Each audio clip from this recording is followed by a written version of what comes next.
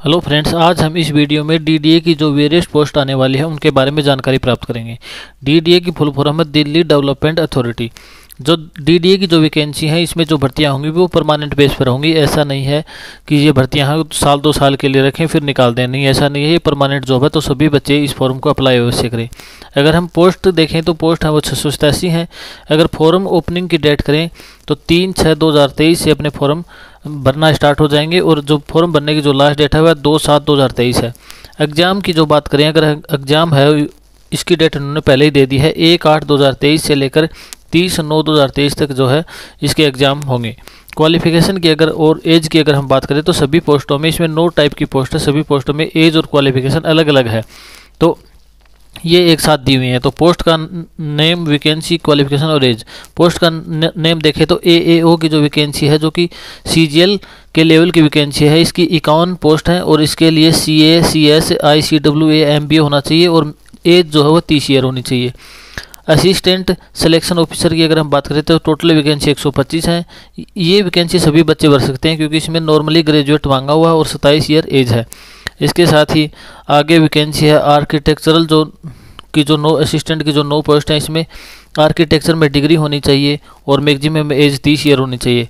इसके साथ ही legal assistant की जो वैकेंसी है, उसे वो पंद्रह पोस्ट हैं। इसके लिए व्यक्ति को एलएलबी होना ज़रूरी है और तीस ईयर है जो एज है। नायब तहसीलदार की अगर देखें तो चार पोस्ट हैं, इसके लिए भी ग्रेजुएट होना चाहिए और तीस ईयर एज है। जेई जूनियर इंजीनियर सिविल में होना चाहिए तो 236 इसकी वैकेंसी है। सिविल में डिग्री या डिप्लोमा होना चाहिए मैक्सिमम एज तेईस साल है।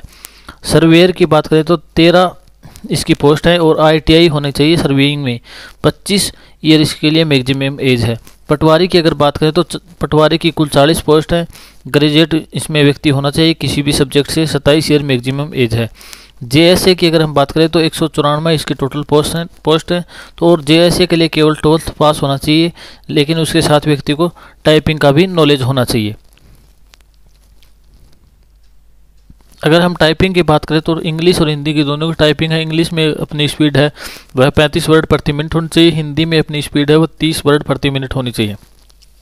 अगर हम पेपर के सिलेबस की अगर हम बात करें तो इसमें जनरल अवेयरनेस चालीस क्वेश्चन होंगे, चालीस नंबर के रीजनिंग के चालीस नंबर के चालीस क्वेश्चन होंगे मैथ्स में भी चालीस नंबर के चालीस क्वेश्चन होंगे, हिंदी और इंग्लिश का अलग अलग चालीस चालीस नंबर के चालीस चालीस क्वेश्चन होंगे। इस तरह से पूरा पेपर हुआ, दो सौ नंबर के दो सौ क्वेश्चन होंगे।